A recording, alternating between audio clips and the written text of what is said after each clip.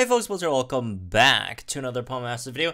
And tonight we are getting the holiday banners, right? Uh, both Ribbon and the, the, the other guy, the Flying Gyarados, right? And uh, these are, again, the how many seasonal banners that we've had in a uh, very, very short, or relatively, I guess, short period of time and um, they're both really good. They're you know can't lie, these are really decent units, right? Um, so so let's go over them, talk about them, and and and the banners and, and stuff in general, right? So starting off, um, Ribombee, right? It's seasonal Lillie. First of all, the number num the number one thing about this unit is uh, Lillie looks absolutely adorable in that outfit. So good such a great seasonal. Um, I mean, upsides and downsides with seasonals, right? Upside is obviously you only get them once probably per year because it's for that season, right? Which makes sense. Um, or, or did I say upside? No, that's downside. um, upside is they look, a, a, lot of them are really, really cute. I, I love the uh, Lillie one. Um, obviously, you guys know how much I love the Holerica one. Um, Acerola was fantastic. Steven was really, really nice. Uh, Hilbert was kind of cute as well, right? Um, oh, Lyra. By the way, un- incredibly underrated Lyra. Um, how cute that outfit is. Obviously, those are the upsides. And um, a lot of people like always try to make like strength arguments about like seasonal. A lot of some people say, oh, they're too overpowered. And other people say, oh, they're they suck, right? Well, the truth is, it's it's neither. there are good seasonals. There's Ice Steven, absolutely insane, right? Holerica, crazy, right? And then there's also some seasonals that are not not that great, right? Um, Acerola, obviously one of them, right? Um, in my opinion, I think Holiday Skyla is slightly overrated. Obviously, does a lot of damage on the sync move, right? So hard to set up. I I don't think it's a really that great of a you know um, kit to run, but again, it's solid, right? Um, as with most of the units in this game, there really aren't too many weak units in them. Obviously, you do like the Braviary, uh, Grimsley to an extent, right? Uh, for Alligator, but generally, the the game just keeps on putting out like solid units. Like, what, what can we do, right? So, anyways, um, Lillie. Speaking of solid units, fantastic unit actually. Um, Lillie reminds me a lot of like regular Lillie plus uh, Holerica. That also gives you like crit. so from that you could already tell this is this is going to be an absolute bangers unit, right? So, um starting off from stats, fantastic defensive stats, right? Uh, plus 200 on both defenses. Uh HP not that great uh for for a tank, right? It's not terrible either. It's just somewhere in the middle, right? Uh speed's not the best. And your physical special tag is kind of whatever, right? Um, although it, it is a physical unit, by the way. So, as for the moves, you do have Leech Life. If you guys, I, I mean, I've been doing a lot of, uh, you know, um, videos with Hilarica because because I love Hilarica, and second of all, she's really, really, really powerful. Um, and you guys have seen how powerful that Draining Kiss is, right? That Draining Kiss with the Master Healer. Draining Kiss being only a 2 gauge move, right? Base power, not that high. Leech Life, Three gauge move that heals. Base power very high in comparison, right? Um, this is going to be absolute madness in terms of the self heals. Um, Dire Hit All Plus is one of the most powerful support moves in the game, right? Um, only one other unit has it in the game, right? Which is Phoebe. Um, and not that many other units have uh, moves to this effect, right? You got Sabrina and Lyra with Dire Hit All but not plus. But they also get like crit squad on the grid, right? Um, so one of the rare units actually does have um, Dire Hit All plus, which is really really uh, strong. The trainer move is, um, it's it's good, right? I do think I think a lot of people underrate how good evasion is is in the game. Obviously, it's not anything fantastic, but also not like as bad as people say, right? I mean, sometimes you have bad luck. What can you do, right? But like even if you just dodge like one move, if you just dodge one move every like cycle, that the value that you're gaining over there is huge on certain stages, right? I mean, it depends. If the opponent hits like a feather, then it's whatever, right? Uh, but if you like dodge like a, you know, clutch, uh, like a Giga Impact from like a B or whatever, that's that's a lot of stuff. And the more important part about buffing evasion isn't even like about dodging moves. It's about like a lot of units that have like Shifty Striker or, or Blind Spot or, or um, uh, not Shifty Striker, uh, stuff like a Blind Spot or Bob or Weave that does uh, give them more damage the more evasion they have, right? Stuff like Crobat, right? Um, uh, Typhlosion, stuff like that. So that's definitely something that we don't have. The only other unit in the whole game that buffs other people's evasion is Misty. There's literally only one unit in the game that does that, and then now we have a second one, which is really nice. Uh, move gauge boost. I mean, it's. Uh, I wish he had some other move, move gauge boost. Anyways, moving on. Um, the sync move is just an impact physical. It's a bug type, by the way. Uh, nothing too special here. Passive Team Sync regen is incredible. Uh, after you sync, you give your whole team regen. Um, that's very broken. it's very, very powerful. Uh, I got Q Cutter and uh, Team Out Muscle. These are both give you like a small chance to either decrease your sync move countdown or increase the attack of all your um, allies if you do dodge a move. Well, the chances of these happening aren't really high, so I wouldn't um, still not that much honestly.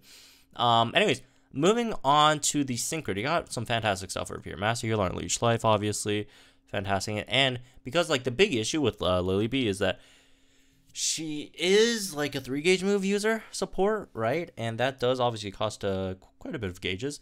Uh, however, uh, it does help a lot that she does have two move gauge refresh threes on Leech Life. So that, again, definitely helps a lot, right? So, um, on top of that, you also have some other stuff. Stuff like Ridicure to, you know, heal when you dodge. That's the stuff that uh, Singsu Elesa has, which is fantastic on Singsu Elesa, all right? Um, you also got stuff like uh, um, interference immunity. So you can't get flinch, trapped, confused at all, which is really, really good. And you have, let's see, uh, toughen up free, uh, 3, 40% chance of increasing your defense when hit by an attack move. And fail forward 1, charge the move gauge by 1 when, uh, you know, your opponent misses you, which, uh, again, does help with the move gauge uh, situation, right? So, Synchro isn't all that, right? Also, Slippery Slope 9, which is uh, raise your evasion when, um, when, when, when something, you know, misses you, right? Um, Synchro isn't all that, but you do have Master Healer, which is huge, right? Master Healer 2, move gauge refresh on Leech Life. It's not anything fancy, uh, but it's very important and very, very powerful, right? Uh, a lot of times, a lot of, you know, Synchro's not really flashy, but are really, really good. Um, so that's, again, definitely, you know, a huge plus here.